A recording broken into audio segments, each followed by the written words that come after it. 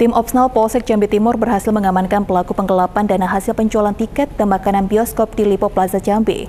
Akibat kejadian tersebut, PT Cinemax yang bergerak dalam bidang penyedia jasa pemutaran film atau bioskop di Lipo Plaza Jambi mengalami kerugian kurang lebih 169 juta rupiah. Pelaku penggelapan dana tiket dan makanan bioskop yang dilakukan oleh SB 34 tahun selaku sinema manajer Lipo Plaza Jambi berhasil diamankan tim Opsnal Polsek Jambi Timur. Kapolsek Jambi Timur AKP Yumi Kaputra mengatakan bahwa kejadian tersebut berawal saat saksi Y yang menjabat sebagai finance manager di PT Cinemax Pacific Global menelpon pelapor YAG yang menjabat sebagai Air Manager PT Cinemax Pacific Global atas adanya kejanggalan dan selisih penjualan tiket serta makanan yang tidak diinput ke laporan sistem penjualan oleh pelaku SB di bioskop Lipo Plaza Jambi yang dilakukan pada 14 November 2022. Mendengar hal tersebut, YAG langsung melapor ke pihak kepolisian. Meskipun SB sempat melarikan diri hingga ke Aceh, namun pihak kepolisian tidak menyerah dan berhasil mengamankan SB pada 31 Januari 2023 di wilayah Kabupaten Aceh Utara, Provinsi Aceh.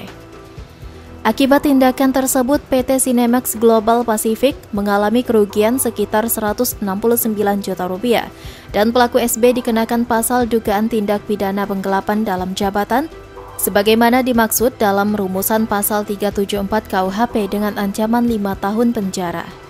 SD, di mana sebagai pelapor adalah sinema uh, Lipo Jambi.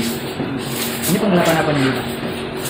Jadi untuk pelaku adalah uh, sinema manager daripada uh, Lipo Plaza, ya, bioskop kemudian selaku manajer tidak melaporkan dari hasil penjualan tiket maupun penjualan makanan di bioskop. Di Lipo Plaza sehingga uh, Lipo Plaza atau sinema mengalami kerugian lebih kurang 159 juta. Itu dilakukan sejak kapan nih Untuk kejadian sendiri sekitar bulan November tahun 2022 kemudian tersangka melarikan diri hingga terakhir kita lakukan penangkapan di wilayah Lok Sukon, Kabupaten Aceh Utara, Provinsi Aceh. Pasal yang dikenakan adalah pasal 374 ya, 8 dalam jabatan atau pekerjaannya dengan ancaman hukuman 5 tahun penjara. Fazil, Jack TV, melaporkan.